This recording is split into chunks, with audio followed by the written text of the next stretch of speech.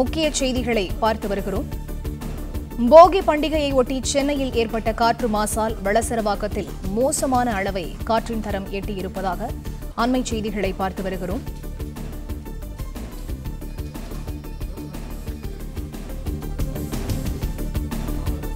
முக்கிய செய்திகளை பார்த்து வருகிறோம். போகி பண்டிகை இன்று கொண்டாடப்பட்டு வருகிறது. இதையொட்டி சென்னையின் பல்வேறு பகுதிகளில் காலை முதலே பல்வேறு இடங்களில் பழைய பொருட்களை தீயிட்டு கொளுத்தி வந்தனர். இந்த நிலையில் அதனால் ஏற்பட்ட காற்று மாசால் வளசரவாக்கத்தில் மோசமான அளவை காற்றின் தரம் எட்டி இருப்பதாக அண்மை செய்திகளை நாம் பார்த்து வருகிறோம்.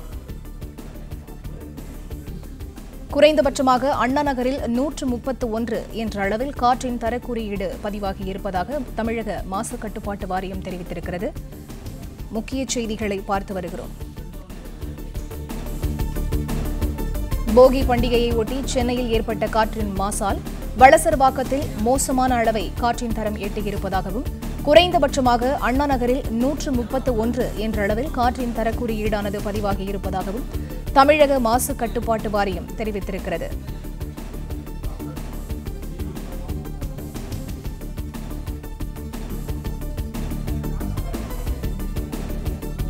ரப்பர் டயர்கள் டியூப்கள் பிளாஸ்டிக் போன்ற கழிவுப் பொருட்களை எரிப்பது இந்த ஆண்டு வெகுவாக குறைந்திருப்பதாகவும் மாசு கட்டுப்பாட்டு வாரியம் தெரிவித்திருக்கக்கூடிய அந்த அறிவிப்பை பார்த்து வருகிறோம்.